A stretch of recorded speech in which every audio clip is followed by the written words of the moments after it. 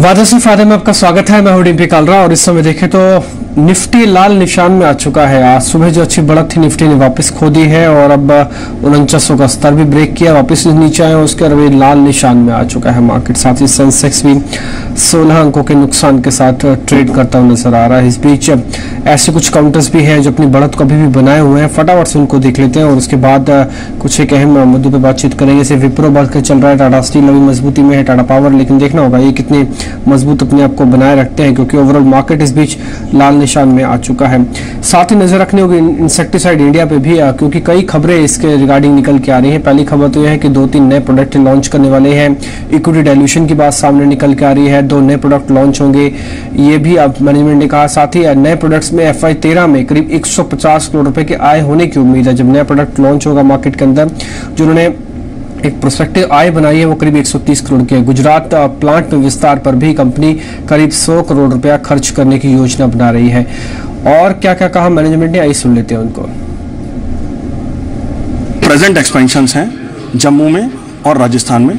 ये सब हमने इंटरनल अप्रूवल से फंड किए हैं। गुजरात को भी हम जो फ़र्स्ट फ़ेज़ है, इसको अपने इंटरनल अप्रूवल से ही कंप्लीट करेंगे। लेकिन आगे जो हम गुजरात में बड़ा एक्सपेंशन करना चाहते हैं, उसके लिए हमें थोड़ा सा डेल्यूशन शायद करना पड़ेगा।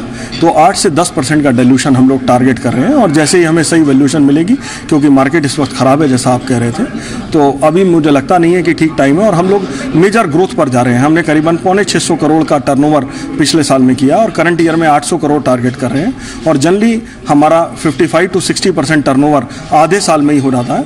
तो मुझे ऐसा लगता है कि हम लोग सितंबर क्वार्टर की अचीवमेंट कर लें तो हम लोग प्रूफ कर पाएँगे कि yes we are growing at the right pace और वही शायद एक सही टाइम होगा, जब हमें सही वैल्यूएशन मिल पाएगी। तो हम लोग कुछ महीने का इंतज़ार करके एक बार डाइल्यूशन करेंगे, जिससे कि हम अपनी जो फर्दर ग्रोथ है, उसको फंड कर सकें। देखिए, हर कंपनी पैसा जुटाना चाहती है और विस्तार करना चाहती है, लेकिन सबसे इंपॉर्टेंट बात जो इस पूरी मैनेजमेंट की बाइट में समझ में आई, ये है कि जो इक्विटी डायल्यूशन तो करना चाहते हैं आठ से दस परसेंट लेकिन अभी नहीं करेंगे। वो एक मौके की तलाश में है।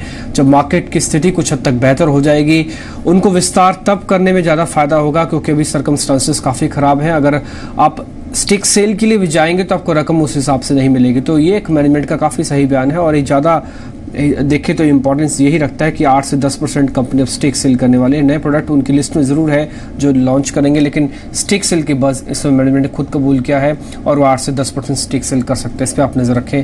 हालाँकि वैल्यूशन टर्म्स पे वो कंफर्टेबल नहीं है, लेकिन उनका मानना है कि शायद सितंबर तक इस चीज़ पे वो आगे बढ़ सकते हैं।